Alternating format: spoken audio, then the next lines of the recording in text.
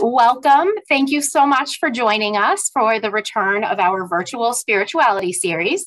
My name is Jessica Colligan, and I'm happy to welcome you on behalf of Fairfield's Alumni Relations Office. With me this evening is Father Gerry Blaszczak, who, since the last time we did one of these Zoom events, has both a new title and a new office.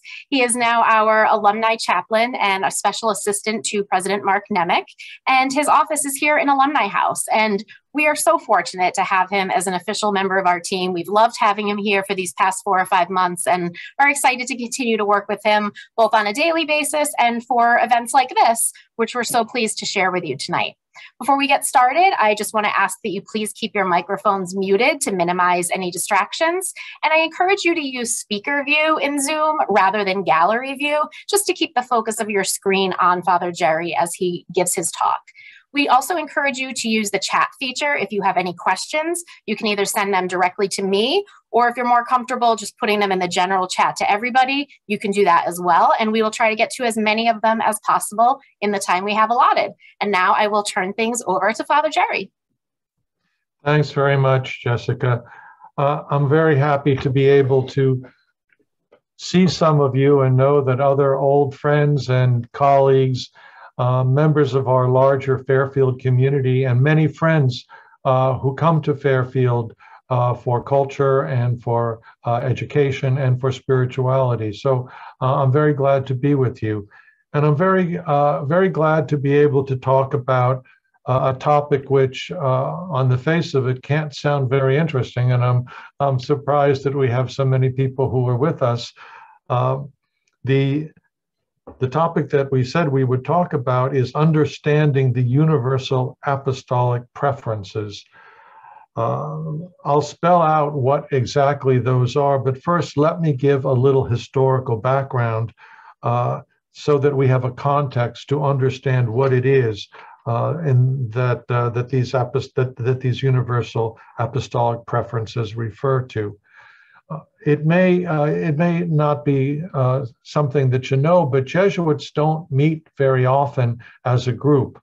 Uh, in the entire 550 year history of the order, Jesuits have only gathered for a uh, a global or universal meeting, which is our supreme um, decision making body. Uh, we've only met 36 times in the history of 550 years.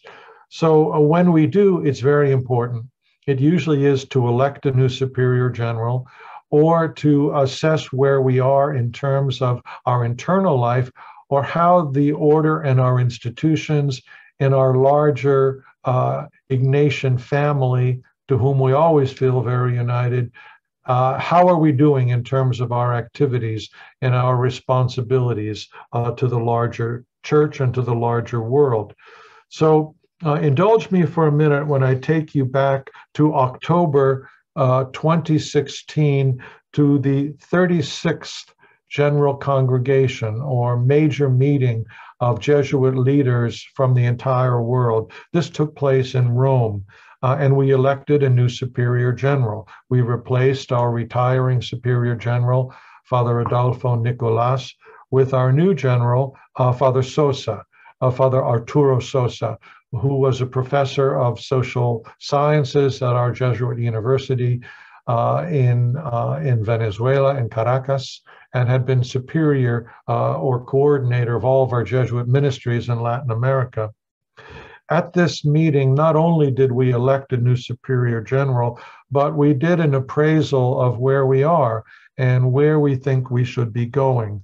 Uh, this group of Jesuits put together a document uh, a decree, we call them, of our general congregations.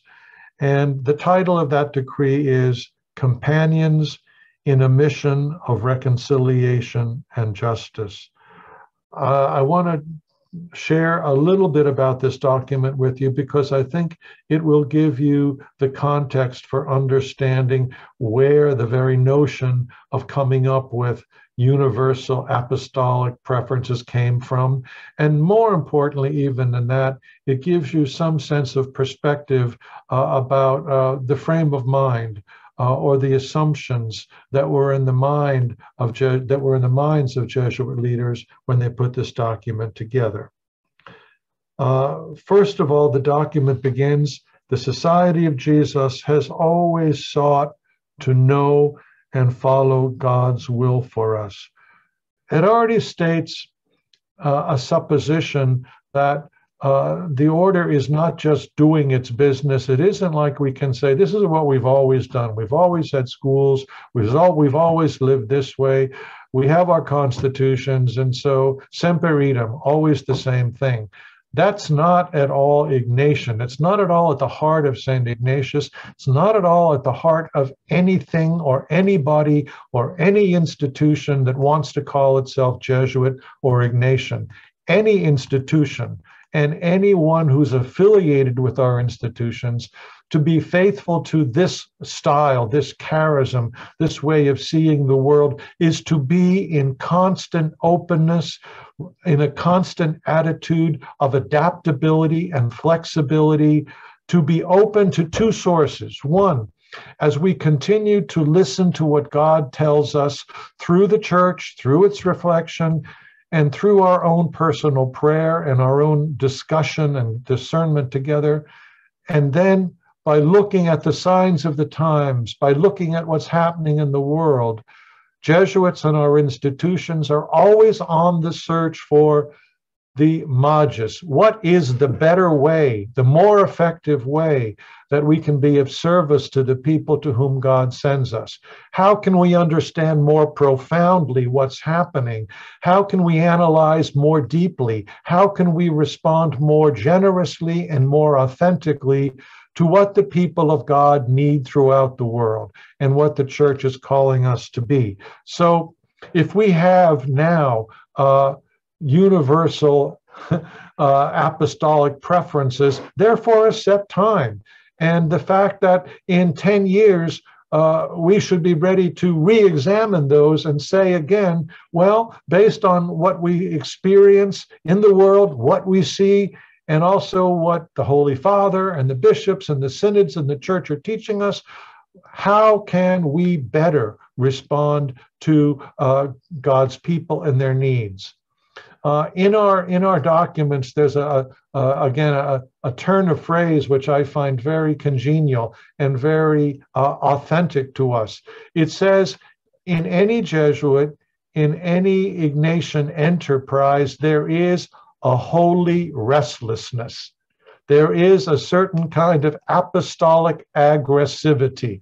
So, uh, simply saying this is what's worked, it would be anathema uh, to Ignatius, or I think to any authentic Jesuit mission or Ignatian work to say, well, that always worked in the past. That's what we've always done.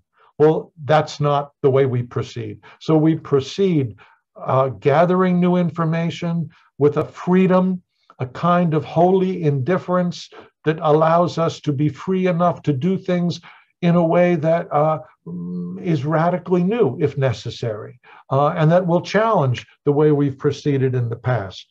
So it's useful to understand that that's a Jesuit Ignatian way of proceeding. Discerning, gathering new information, reflecting, making a choice, and then re and then reassessing the choice. Did that in fact yield uh, the results we were looking for? Uh, and so I'll say more about that in uh, specifically.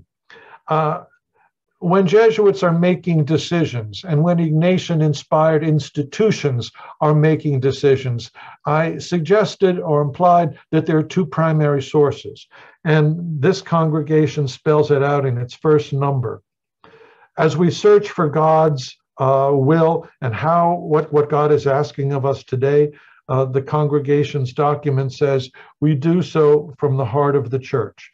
In other words, we always know who we are. I mean, in, in common parlance, people like sometimes to say, well, you know, uh, I, like the Jesuits, but I don't like the Catholic Church. Or, you know, uh, there was an article years ago about Jesuit colleges that said, uh, Jesuits see, Catholic no. Well, that's not true.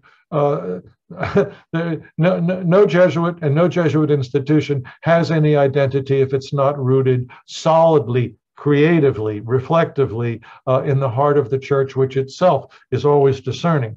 And God knows with Pope Francis, if you're if, if Jesuits are inclined to restlessness and challenge, Francis is a great example of that you know, Francis is pushing us all uh, to continue to ask new questions and to continue to ask ourselves, how better do we proclaim God's word and how better do we serve God's people, especially those who are most marginalized? So you'll hear that the priorities that the Jesuits are affirming and asking all of us uh, who are affiliated with and who are stakeholders in Jesuit mission, the the the the preferences that they're asking us to reflect on. Um, you'll you'll if you if you're keeping current with Pope Francis. Uh, and the various discussions and the various reactions to him or against him, uh, you'll hear that these are very much in line uh, with what Pope Francis has in mind when he's leading the church. But now listen to this, and this is quintessentially Jesuit and Ignatian. So we look at the future, we try to figure out how we should be at Fairfield or at Fordham or at Boston College or at a retreat house or at a Jesuit social center or in any Jesuit sponsored work at the Murphy Center. What should we be doing? Well, always, always with the mind that we are identified with the church and its mission, but then equally and totally uh, Ignatian and inspiration is we make our decisions by gazing at the world. There's no way that we can hold ourselves up, uh, put ourselves on ivory towers, or dispense ourselves from the hard, challenging, and exciting task of looking at the world as it really is. So, listen to how the Jesuits who were gathered in Rome uh, back in 2016, listen to how they phrased it. We gaze upon a world that has been groaning in labor pains till now. They're quoting uh, St. Paul's letter to the Romans. On the one hand, we see the vibrancy of our youth yearning for better lives. We see people enjoying the beauty of creation, and we see in many ways in which people use their gifts for the sake of others. And yet, our world faces so many needs today, so many challenges. We have images in our minds of people humiliated, struck by violence, excluded from society, pushed to the margins. And our earth bears the weight of the damage human beings have wrought. Hope seems threatened. In place of hope, we find fear and anger. So, any discernment, any analysis any decision about how we should allocate our resources and make decisions for how our institutions or our personal lives will proceed are based on that twofold rootedness in the teachings of the church and in uh, a, a candid, honest, vulnerable look at what is really happening in the world.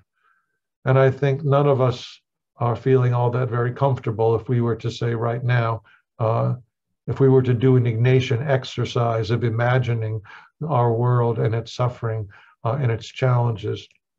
But the background for making these kinds of Ignatian discernments or choices or deliberations uh, doesn't end with uh, looking at the sufferings and challenges of the world. It continues on in this way. We must always remember that, and this is again, a, it's it's it's a kind of a, a new way of talking in the history of Catholic spirituality. Saint Ignatius said that God is not over and above the world. It isn't that God is the cosmic clockmaker who started the world and then is going to somehow judge it at the end of time. And only from now, every now and again, like a puppet master dips down and rearranges things or, uh, you know, asks for things. No, Ignatius says that God is the very life that is breathed into us and that God is constantly laboring in the world and that God is laboring toward the flourishing the health, the fullness, the beatitude of nature and of people and of societies and of individuals relating to him and to one another. So, the core of Ignatian belief is that this world is not only a place that we can say is so needy and so challenged and, and so filled with suffering and conflict and polarization, uh, but that the world is also the place where God is at work and that God is redeeming and freeing and saving the world. And something that may sound even more preposterous if we think about who we are and what our own limits are. The core Ignatian Christian belief is that inspired by Jesus and Jesus' Spirit, people like you and me, people like you and me, specifically, concretely, in all of our peculiarity and particularity, are called to labor with God for the redemption and saving and reconciliation of our broken world. So we are invited not to throw up our hands in despair, but following and allowing the Spirit of Jesus to motivate us, to animate us, to direct us. We are invited to make a difference and to believe that we are invited and empowered to collaborate with God in the healing of the world. The Jews have a great way of talking about this. You may have heard of Tikkun Olam, the, the, the healing of the world. So that's what excites uh, a Jesuit, and that's what excites our Ignatian collaborators. That as we face challenges uh, and we know we have to make decisions, uh, we believe that we are empowered and called to do so. Okay, enough enough background. I've gone I've gone I've gone over this way too long.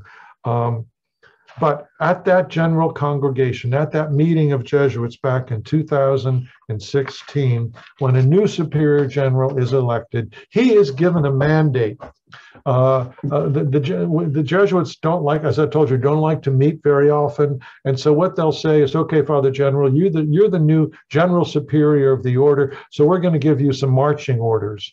And some of the marching orders that these Jesuits back in 2016 gave to uh, Father Sosa was we want you to look over all of our institutions, over all the Jesuits throughout the, throughout the world, and we want you to do a careful inventory. We want you to consult widely, not only with the Jesuits, but with all of the lay people, women and men uh, on whom we depend for the success and the vitality of our ministries, and also consult with all those other members of our sister churches and of all women and men of goodwill who are committed to the healing and redemption of the world and to the revitalization of the spiritual sustenance of human society and cultures. Consult with them, uh, you know, uh, speak with them and help us reassess in the face of all of the challenges of our broken world, where uh, are the focuses? Where are the directions that we, as individuals and as corporate entities, and when I say we, I mean all the members of the Ignatian family. What should characterize us as individuals? What concerns should uh, should turn us upside down and stretch us? What concerns, what questions should we be asking? I remember years ago, I had a job at Fordham. I was the, the vice president again for mission and ministry, and uh, and uh, I began to think as I discussed with our faculty across 11 different schools, and it was my job to try to talk about or to articulate what what how, what makes up the identity uh, of of, of an institution. And I came to the the the at least uh, uh, temporary conclusion or provisional conclusion that what identifies an institution is what are the questions that they wrestle with what are the issues that an institution takes deadly seriously? Uh, what in earnest does an institution uh, contend with?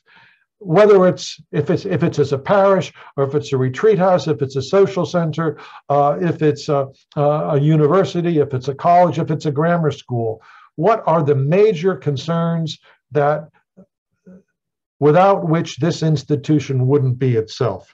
Okay, so Father Sosa is told that he needs, that the order is asking him to do this. So one year later, he begins the process. So in 2017, he starts a process where he invites every Jesuit region, every Jesuit superior, uh, and all of our institutions to consult widely uh, and to come up with uh, not a mandate that you not not priorities in the sense that this is more important and that A is more important than B or C or D, but rather what are the preferences, um, what are the concerns that uh, by preference you give great importance to, and what are the preferences that animate and shape whatever enterprise, whatever ministry, whatever institution you're doing. So as I go through them with you, it's not the case that you know Fairfield, for example, could choose A. It's like not a Chinese menu. You know, you don't choose A and then leave B, C, and D out. They're saying that any authentically Jesuit Ignatian work is marked by these fundamental concerns. And uh, Father General, Father Sosa will be saying, look, across the board, uh, it's your job in the next 10 years, not overnight to come up with uh, a strategic plan, but to be wrestling with these and to be saying, as we continue to think, discuss, discern, analyze, how do we incorporate these preferential concerns? Maybe that's the way to talk about it preferential concerns. Can't do everything. But uh, Father Sosa and the order are saying these are so important that they have to be your preferential concerns.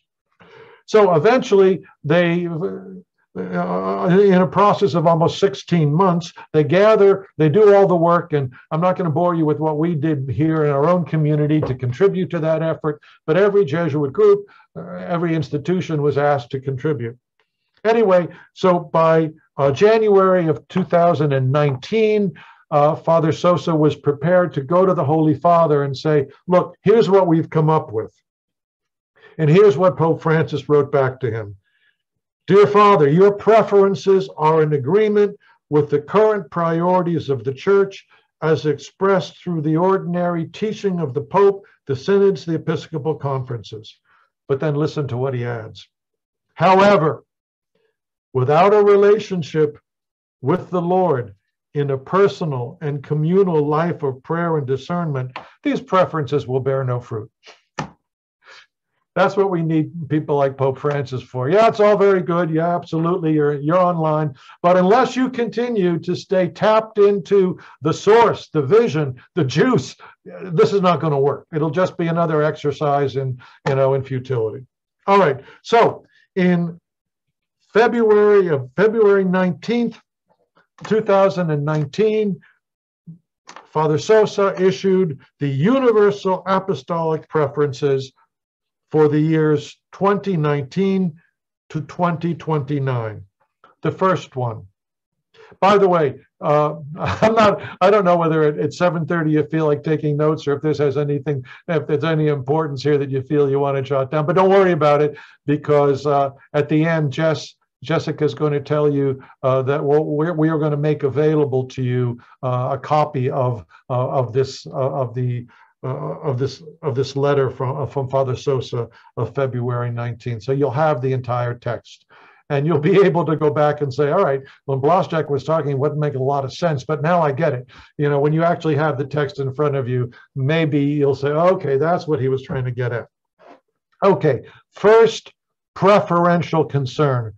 I kind of like that better. The first preferential concern is across our ministries, in everything that we do, to show the way to God through spiritual exercises. And a lot of you are here precisely because, in one form or another, you've experienced this great legacy, this great treasure of St. Ignatius, the spiritual exercises, which are modulated, modified, adapted in a multitude of forms. Uh, and that's what Ignatius wanted. There's a certain form that he came up with 30 days in solitude, Then he comes up with other ways of doing it. And then over the course of time, he said, you know, these have to be always modified and applied to people in their concrete specific circumstances. So we're told by this, uh, by Father Sosa, we resolve to offer the spiritual exercises in as many ways as possible. Listen, providing many people, especially the young, the opportunity to make use of them and to begin or to advance in their following of Christ. I'm delighted to say that uh, the Murphy Center for Ignatian Spirituality here at Fairfield has done a spectacular job, thanks to the talented directors, thanks to the visionary founders and benefactors that put the center together. For example, just so that you know that you realize that this is not all you know building castles in the air. The Murphy Center, as some of you know, uh, has a, a 10 week program where our students, members of our larger community, uh, promise to spend an hour in solitude every day and then see a spiritual director once a week.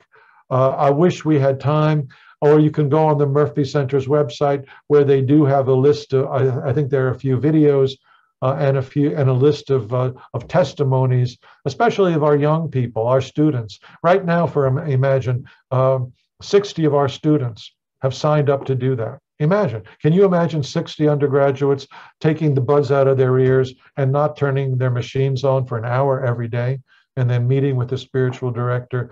Uh, when I had more time and more freedom, I served as one of the directors, and uh, I wish I could tell you, I wish I had time to tell you the stories, uh, the transformative experiences that happen. Uh, but many of you have your own personal experiences of, of what can happen uh, when, with support and some guidance, we stop and we listen and we experience that God who, as I said in the very beginning of my remarks, we are confident is always working. God is always working in our lives. And God's intention is always to bring us to deeper truth, to deeper freedom, to deeper love. And to watch that happen with our students is extraordinary. Right now, too, uh, and I'm going to stop because I'll, i could give examples all night. Uh, one of the great joys of the Murphy Center is the close alliance between the Murphy Center and our athletic department. We have 450 varsity athletes at Fairfield. Every one of them goes through a day long retreat where some form of the spiritual exercises is offered to them. Uh, imagine, uh, uh, like it or not, our athletes, and I happen to like it, our athletes are campus leaders. And all of them in the course of a year go through at least a day of some experience of the spiritual exercises of St. Ignatius. And again, their witness, their testimony uh, is extraordinary uh, and very inspiring. So the spiritual exercises, this rhythm, this insight, this way of, uh, of, uh, of helping people encounter themselves as God sees them and helping them to experience God in others and in nature and in the scripture, in Jesus, uh, in new ways is uh, it's what we need to be about. So I'm happy to tell you that at least with preferential option number one, we're doing great.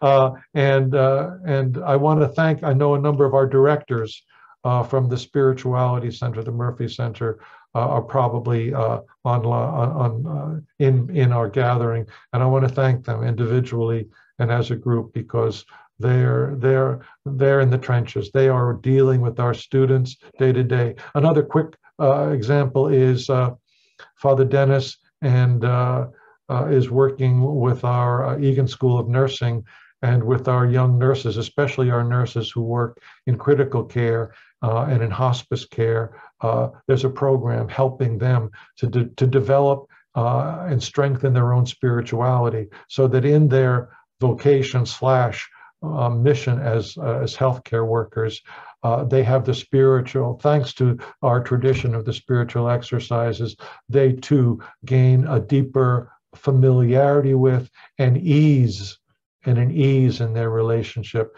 of finding God, even in the situations, not even, but uh, exactly in the situations of, of human sickness and poverty uh, and, uh, de- and, and de- deterioration. Okay, That was preference number one.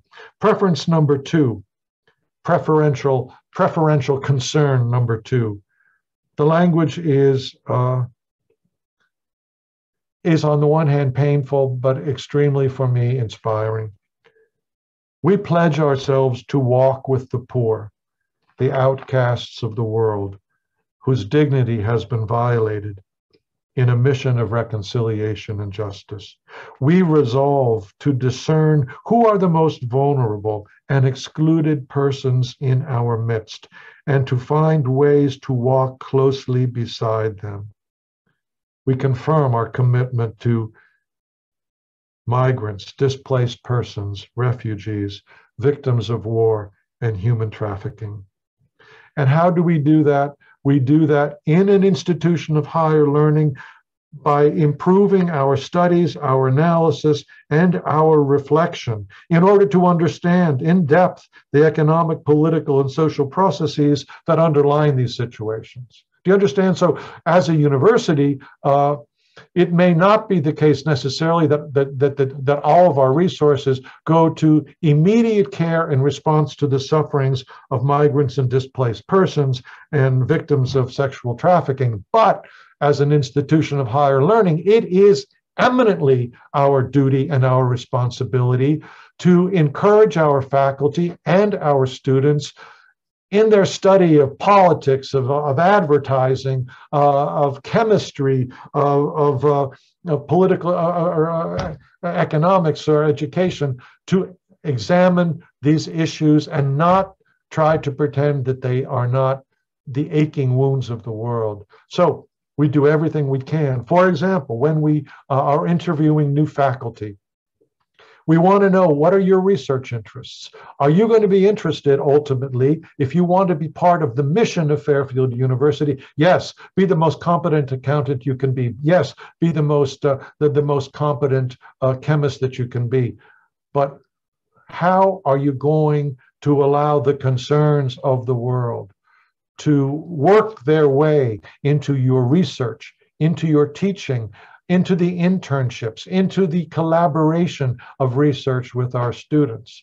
So, even in our core curriculum, concerns for the causes of the world's woes and sufferings are built into our core curriculum so that they are inescapable. There'll be no Fordham. I'm sorry. Oh my God, I do this so many times. The number of times I, when I want to say Fairfield and I say Fordham. Um, um, it proves to you that I have uh, that I have crimson flowing in my veins. So for all of my my Fairfield uh, uh, friends and uh, alumni, what can I tell you? But here I am at Fairfield. I love Fairfield. So uh, no Fairfield student should ever be able to say uh, we were never challenged about uh, the reality uh, of, uh, of ecological degradation. Nobody ever asked us in our courses to think about the underlying political and social and economic and military causes uh, of, of world poverty, of inequality of income, uh, of wars and, and, uh, and, and, and displacement of people. It's part of what our professors are asked to work on, and we ask our students in a non-ideological way. We're not interested in turning out, you know, conservatives or liberals, couldn't care less.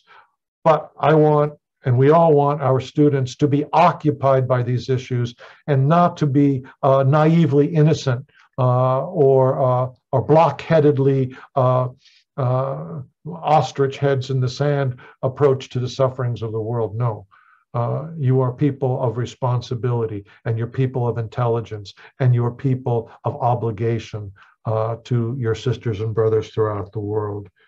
Um, I'm going to just give you the third because the third will introduce me to another example that I want to give you. So, the third, to accompany youth in the creation of a hope filled future this third preferential concern says young people, if you're looking at the whole scope of the globe now, not necessarily here in Fairfield County, but if you look at the world, young people, most of them poor, face, and even our students do in their own ways, face economic insecurity, increased political violence, multiple forms of discrimination, progressive degradation of the environment.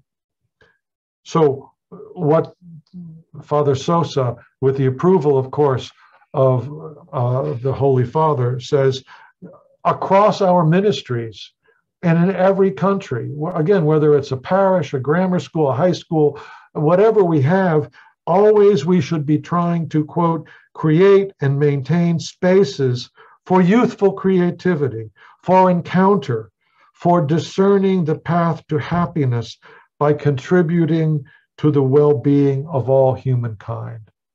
There needs to, there must be, there will be, says Father Sosa and the Holy Father, in any Ignatian inspired institution, a special preferential concern for youth.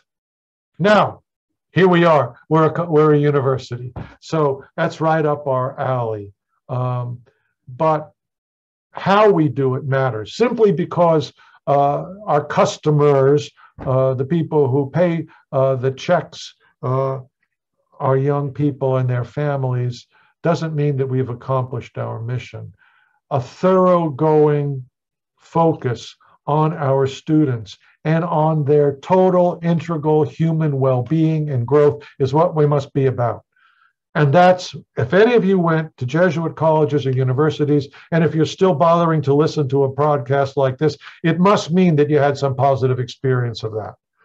That you experienced people who were concerned about the growth of your mind, your professional preparation, but also who cared about you as a human being and understood that you lived in particular and peculiar circumstances. Maybe you had economic needs back when you were here or when you were at some other Jesuit college or high school. Maybe you were going through your own personal psychological, sexual, social challenges. I hope to God there was somebody who understood and who cared and who was there for you and who let that be clear. In other words, I hope that somebody respected you and loved you and cared for you. Now, powerfully, Father Sosa says, to accompany young people demands of all of us who work with them authenticity of life. You all know that. Young people can smell a fake a mile away. You lose all credibility if you're a fake. Uh, when I first started teaching uh, in university uh, way up in Syracuse, New York, one of the old Jesuits said to me, I was telling him how unprepared I was, how I didn't know this and I didn't know that. And he said, look, just, just be honest and be transparent and be authentic because the kids always smell of fake. If you don't know something, tell them you don't know it. Um, but we're talking about something broader still when we talk about authenticity of life. So we want, as our student life, uh, we want our student personnel folks, we want our faculty, we want our uh, our our public safety officers, we want everyone who works here to live as best they can authenticity and honesty.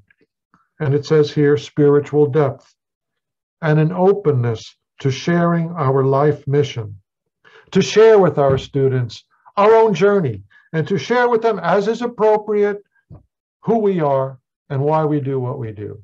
So you see the kind of vision of a community of care and creativity and tough learning and demanding education that Father Sosa has in mind in our ministry to youth. The last, and I'm going to go through this briefly, oh, I'm going to mention it only because I want to come back and tell you about an initiative that I think uh, explains or demonstrates our commitment to number to be to walk with the poor the outcasts who are most vulnerable who are most excluded and to walk with youth. The last and again this would be uh, a topic for a whole other a whole other session. I have so many wonderful faculty colleagues who are working to implement this. It is to collaborate in the care of our common home which is a quote, which is a reference to Pope Francis's encyclical letter, Laudato Si, uh, our responsibility for the care of our mother, the earth. Uh, and and the call is to collaborate with others. This is nothing that that you know uh, we on our own can do. Um, to collaborate with others in the construction of alternative models of life that are based on respect for creation and on sustainable development, capable of producing goods that, when justly distributed, ensure a decent life for all human beings. Maybe at another time, in fact, if we do this, I'd like to get to get together my really admirable, committed colleagues who, uh, many of whom uh, teach in our environmental studies program uh, or on our campus sustainability committee. I would love for them. This issue is so important, and candidly, I know so little about it, uh, and they know so much. Maybe, maybe Jess, we can get them together and uh, talk to our uh, our friends here about the motivation and the implementation of this uh, of this uh, preferential concern. But what are we doing uh, for to walk with the outcast, to walk with those who are most vulnerable, and what are we doing uh, of special service to our youth? Um, I think you have probably heard through the tom toms, or if you follow the Connecticut Post, or if you got the message from Frank Carroll, the chair of our board. Uh, We've been working over the course of the last 18 months uh, on an accessibility. Uh, the president, the president created a committee to examine access, increased educational access, uh, because we are convinced that as uh, as a Jesuit Catholic university, uh, the most most important, most effective instrument that we have to respond to the needs uh, especially of the most vulnerable in our own neighborhood here in Bridge in the greater Bridgeport area, uh, is uh, to move toward slowly, carefully, to move toward opening uh, a two-year junior college in downtown Bridgeport. That would uh, provide access to education to a population which has been uh, for generations uh, seriously neglected and underserved. Uh, these would be Pell eligible students, that is to say, their families live under a certain government established level uh, of, of, of poverty, and mostly young women and men of color, first generation families, refugees, who are capable, who have the desire and the intrinsic ability, but who haven't who haven't been prepared uh, to find admittance uh, to uh, a six to to a four-year college, and uh, whose uh, and whose and whose preparation is very likely not going to be accomplished in one of our existing state community colleges. So we have. on the basis of a wonderful community, a wonderful junior college established and sponsored by a Loyola University in Chicago, Arrupe College. Uh, we here at Fairfield have developed uh, our own distinctive model of what we, working hand in glove with Bishop Caggiano and the Diocese of Bridgeport, how we will provide this bridge, this new opportunity uh, for educational access to new generations of the kind of people, by the way, for whom historically Fairfield was created. You may know enough about our university, and some of you may say, Yeah, I'm exactly from that kind of a family. When the Jesuits up in New England decided, when they noticed, when they discerned, when they spotted the reality that there were many, many generations, that there were many uh, families, uh, Catholic families, uh, as industry expanded in the 20s, 30s, and 40s here in, in southern Connecticut, the Jesuits said they need they need a college. Uh, they need educational access. We want to give them the best we can. And so the Jesuits began to creep around downtown Bridgeport looking for land to buy to open a college. Get this land was too expensive in downtown Bridgeport, but there were two contiguous estates that were up for back taxes up here. Uh, and so in Fairfield and so the Jesuits bought these two pieces of land, but the intention was always to provide educational access in an atmosphere of academic rigor, pre professional focus, and care of the whole person, giving these young people of the of previous generations all that they needed to realize their potential and to achieve their success uh, and to become, you know, productive uh, and uh, and accomplished uh, contributing citizens to uh, our area. That's how we started, and that's what we're going to go back and bridge to go go back to Bridgeport and do. So that's how we're going to try to implement. And the implementation of these of these preferential concerns, how they're going to be incarnated, it's not a once uh, a once for all decision. Uh, we are going to be returning to these again and again. And whenever our provincial visits, whenever representatives from uh, the Association of Jesuit Colleges and Universities visit us uh, to assess uh, and to grade us uh, on whether or not we are faithful to our mission, the criteria that they will be using will include and be chiefly structured by these uh, these preferential concerns that we've been talking about. Likewise, uh, very soon we'll have a New England uh, colleges and universities uh, assessment as well. And uh, they ask specifically, uh, what is, how do you define your mission uh, and your and your orientation? And we will have to even explain to our secular New England college and universities colleagues uh, how these criteria, which we say identify us, are being are shaping our curriculum, uh, our hiring, our promotion, our uh, uh our scholarly produ- productivity, and our service to the larger community. And I better stop now, Jess. We have one. Have I put everybody to sleep? I. Have I put everybody to sleep? No, I, I, saw I, one of my friends, and I'm not going to identify my friend, has a nice glass of what I what I take to be a Pinot Grigio, and I wouldn't mind having that here now. But what can I say? So. We do have one question, and she's Just prefacing okay. so far. We'll see. she prefaces it by saying this may be more of a question for her parish, but uh-huh. she's asking Is the church considering evolving rituals within the church or within mass services that reflect a more universal inclusion? That has, well, that, you know, that, uh, you're right. It's, it's not even a question for your, it's a question immediately for your parish, but it's a question of the, the bishops are given tremendous uh, tremendous authority over the worship in their own dioceses and the local the church of the of the I'm sorry the the American bishops uh, would be taking up these concerns. Uh, now, by inclusivity, do you mean uh, the role of women? Do you mean the, uh, uh, gay and lesbian people, trans people, uh, or cultural distinctions in inclusivity? All of those are terribly important questions.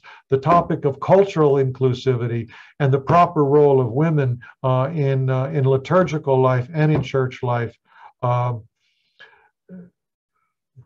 Yeah, it, we don't we don't get to say what happens in your local parish uh, we do get to say to some degree what happens in our own campus ministry. By the way, if, if you haven't met our wonderful new Fairfield alum director of campus ministry, Father Keith Maczkiewicz, Makowitz, I think he says. Uh, uh, Keith, we should bring Keith on, and you, you can you can throw a few of those questions at him. Well, that's actually a great advertisement because we will have Father Keith on on right. December 14th. So that will be mark your calendars now. I'll send, uh, I'll, I'll make sure I include that in the follow up email. So we will have an opportunity right. to hear from our new campus ministry director. And as I said, or as Father Gerry said, I will be sure also in the follow up email to include a copy of Father Sosa's letter so you can read through all of this a little bit more thoroughly. And I think Father Gerry, I have a feeling that once people get a chance to really read through that, they and digest everything a little bit more, there may be some more questions. So to your point, maybe we do some follow-ups on the specific preferences, like a you know the climate um, concerns and all that going forward. So we may find that after this, people are having more questions. So we could certainly do follow-ups. I've also, you know, I've also blithered on a long time, so people are probably, you know, doled into uh, uh, into into uh, weariness. But um, you know, the board of trustees is going to be making a definitive decision uh, very soon on what's going to happen with our proposed two-year college, uh, and if that's approved, then uh, we'd have a lot of exciting things to share with you. Uh, as I say, I think we should do more on uh, on ecology and sustainability, and uh, we have wonderful colleagues who can do that. Um, also, now since I have you, before I lose you, I want to make I want to give a give us a commercial. Uh, you think the Jesuits had nothing to do except ask you to think about more things, right? but this is also uh, the Ignatian year, uh, a year when um, Father Sosa, uh, who is apparently very energetic, uh, has, has, has asked us also to be thinking through the life of St. Ignatius and how it has uh, implications for our own uh, personal lives and for the living out of and the incorporation of the preferential concerns.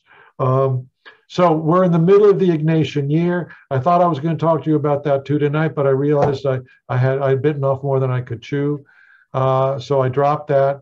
And uh, but I will tell you uh, as a commercial that in uh, late January and early February, uh, we're going to have an online book club. We're going to be studying and reading together uh, the uh, can you can you can you see this?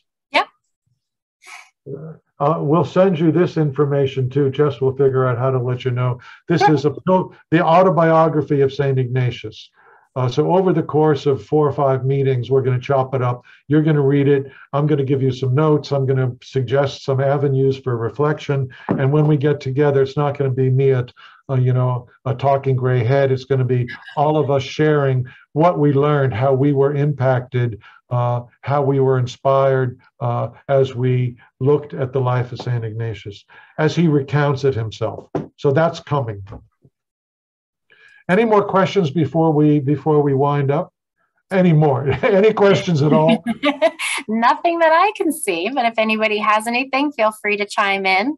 And if not, as I said, we will certainly have other opportunities to follow up on this and to have further discussions about specific preferences if that is something that is of interest to you. So once you have a chance to look over Father Sosa's letter, if there's anything that comes to mind, certainly don't hesitate to ever send it my way. And if it's a question specifically for that you would like Father Gerry to address to you, uh, we could certainly arrange to do that and I will share that with him. Or if you just have thoughts for future events like this that you would like us to do, we're certainly open to those suggestions as well. Yeah, yeah, that'd be a great idea. I mean, if there are things that you would like as as the extend as our extended family uh, of of parents, uh, present and past, uh, of uh, of participants in different programs from the Alumni Affairs Office or from the Murphy Center. Uh, all of us who have somehow connected. I always um, this this is not magical thinking, but I really do believe that when people are drawn together, it's not by chance. And so uh, we have something that we're sharing and um, we have something that we're building on. And so let's see where all this leads. Father. Yes, sir. Oh, my friend, Bart Sheehan. Bart, how are you from? Bart is coming to us from Summit, New Jersey. Father, uh, did the congregation consider the issue of uh, recruitment you know, Bart, they did, but I don't think they they didn't put together a specific document or a specific um, a specific uh, recommendation. Um, and I think it's important because at the same time that I keep saying to our trustees and to and to uh, and to senior leadership here at Fairfield that uh, the the the enduring and effective uh,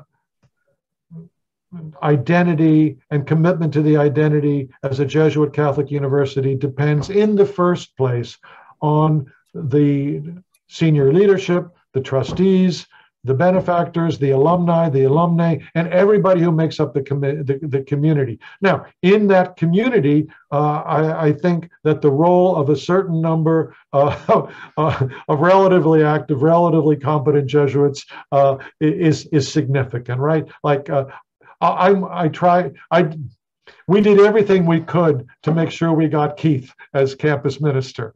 We did everything we could to make sure we got Father Paul Rourke as, as a vice president for mission and ministry, uh, because we believe that these, these people are really living connections to the great tradition.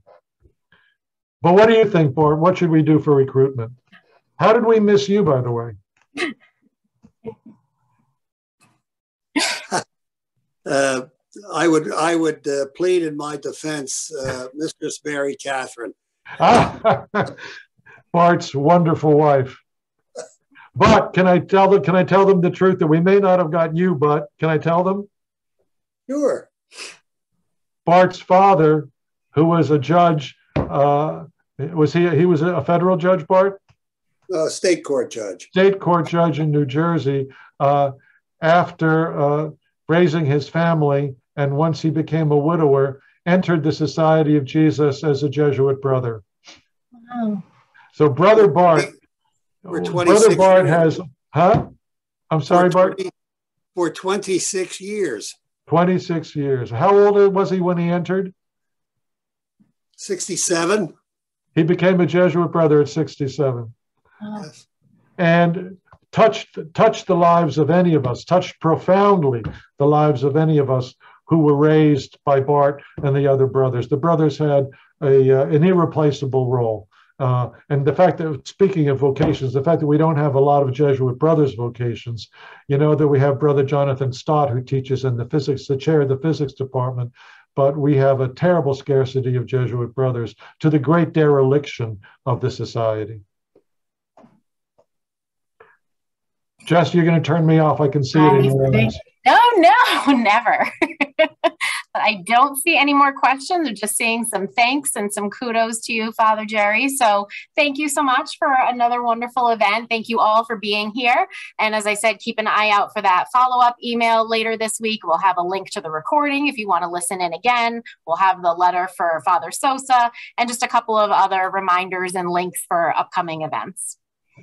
Thank and you we'll all. Tell, so and we'll tell you more, and we'll tell you more yes. about the January February program.